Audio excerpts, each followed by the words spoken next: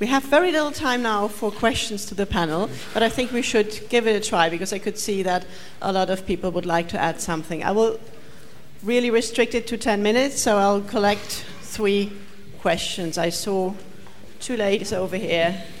Maybe you can pass the microphone over there. Here. Well, four wonderful presentations, but I think the one thing I missed was what is happening now in the squares, in Syntagma Square, in um, Madrid, in St. Paul's in London.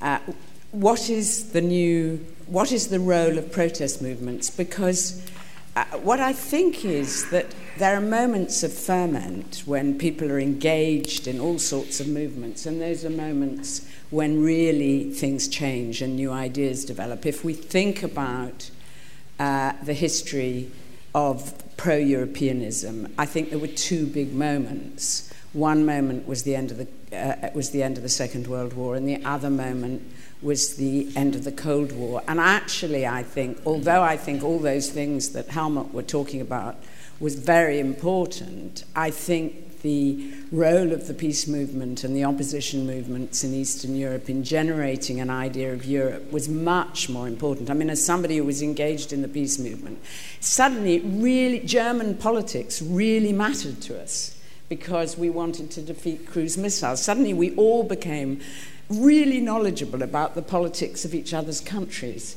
And so Europeanism became something we discussed every day, and many of us started not as Europeans. But I think something similar is happening now.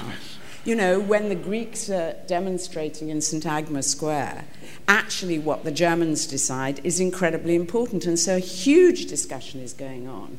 And it seems to me this is a real moment when people are going to th- start thinking differently, and we need a debate about what role these people, what role protest movements play. Just one last little point.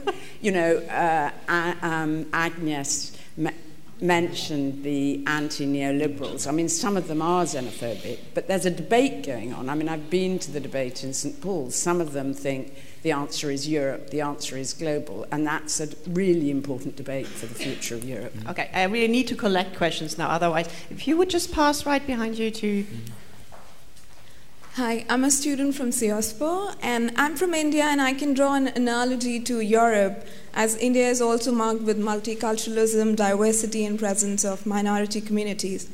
My question is it's perhaps a bit off track, but I'm really curious that as we discuss disintegration and discrimination against certain minorities, what would be the implication of the current European crisis on this space where it's possible that it's not only the minorities but people we consider privileged in terms of education and the, the social class. And they're also forced to move to some other country for better opportunities. What do you think will be the implications of, on the European social space regarding this movement? Thank you. Thank you very much. We'll answer that right away. And I take two more questions in the back. That was that blonde lady there, and then you. Thank you very much for really interesting, thought provoking presentations.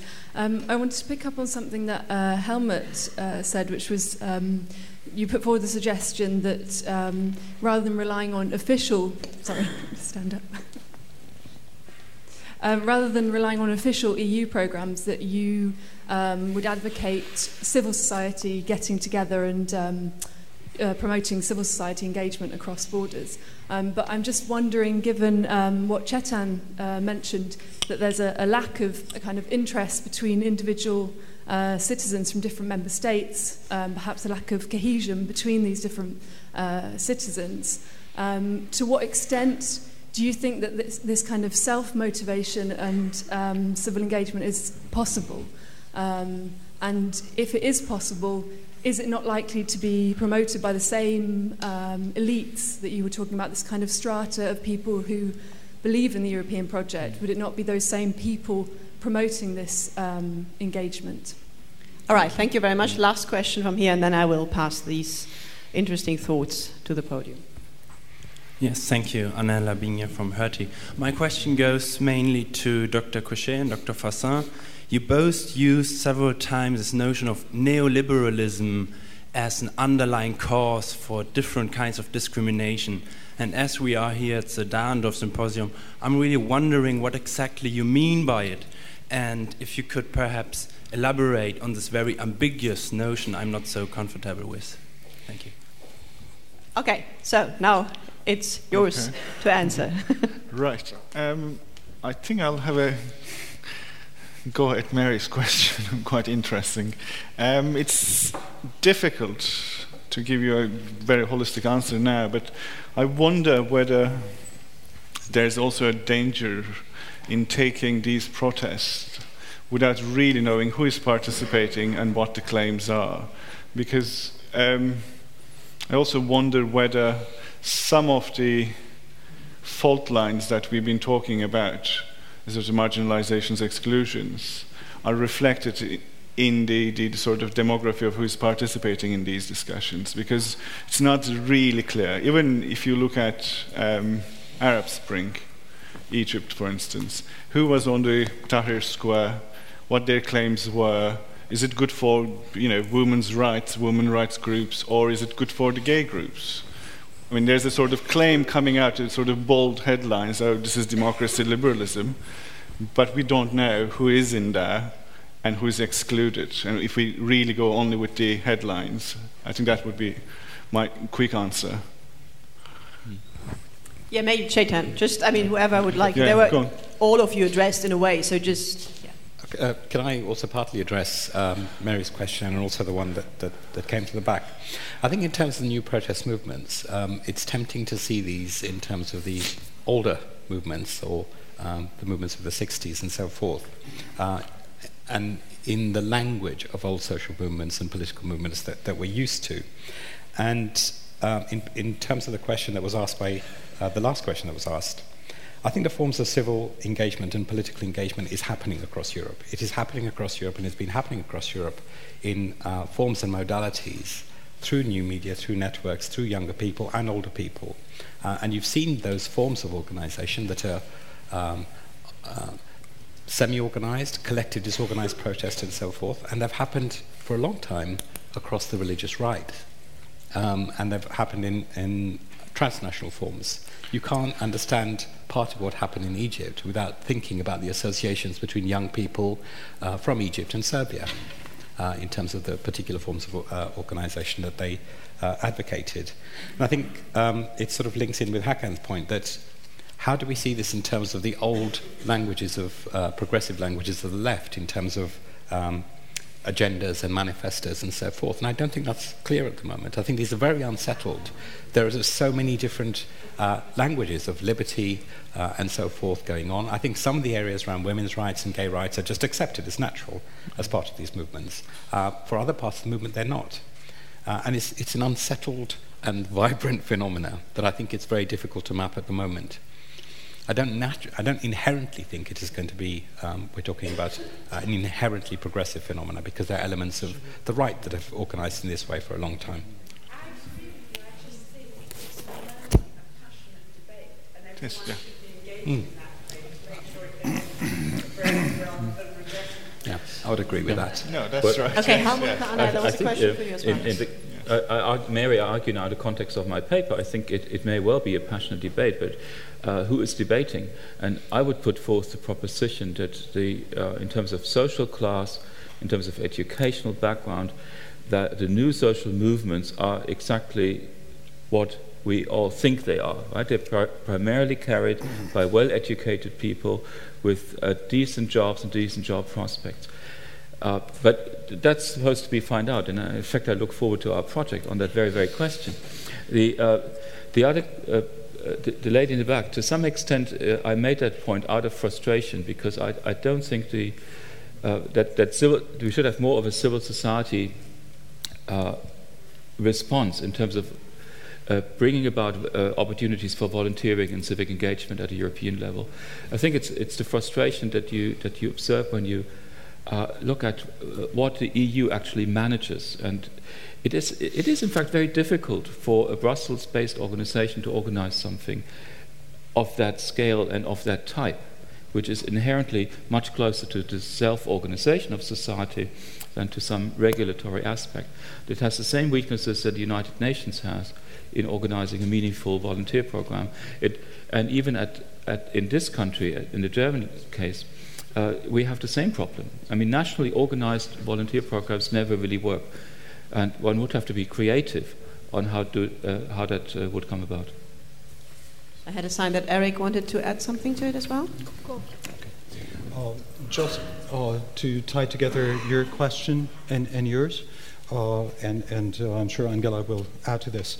What, what, I would say first is I mean, I don't have any original definition of economic neoliberalism, but I think what we have witnessed, for example, in the recent crisis, uh, is a case in point. I mean, what's happening with Greece, uh, the fact that, for example, the idea of reducing spendings does not in any way seem to refer to military spendings, but it seems to be much more about uh, reducing other state expenses, I think is one indication.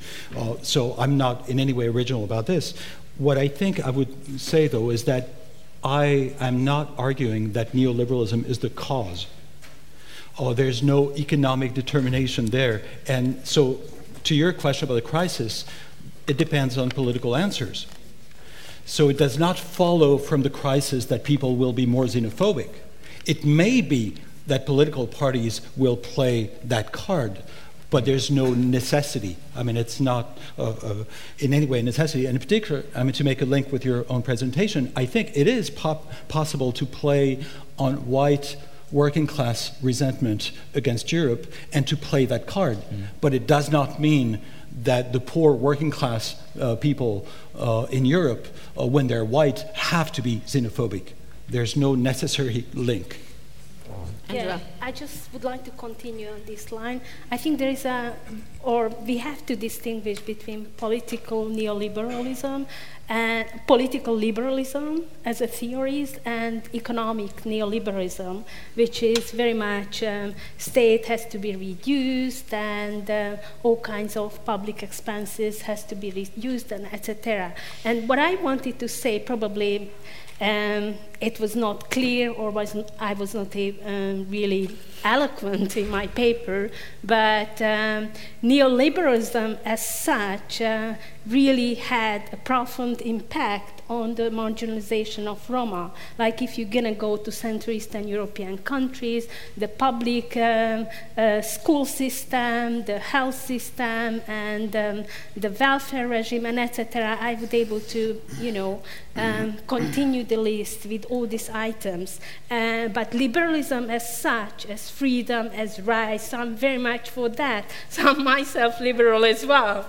But what I wanted to point out, the human rights as an issue, as a discourse, is important, but it was not sufficient to address the issue of Roma. So the, the, the um, uh, the underlining points was much more on political and civil rights, and, and we, um, you know, we somehow forget about their material conditions, how they are living uh, in various spaces in European countries. So there's the two things what we have to distinguish: political liberalism and economic neoliberalism. Okay, thank you very much. Uh, that's as far as we can answer your questions. No, I'm sure you can discuss more during the coffee break. I would like to have Hakan the closing have the closing words for this panel. And thank you as well then. It will work. Okay. Um, thanks very much for the, the, the, the, discussion, but I also thank all the panelists who sort of agreed to participate in this process. Uh, it was quite important for us. And also, I'd like to take this opportunity to thank um, Dr. Nick Dennis and Dr. Mark Ketteler, who were working with us on the research leading to our paper in particular and produced excellent background papers on a number of issues we are covering here. So uh, without their work, we couldn't have managed this really. Thank okay. you. And Hakan and Chetan, thank you as well. You get the book, the Dahrendorf book, oh. from the organizers, both of you. Right. Thank you very much for this panel. Thank you.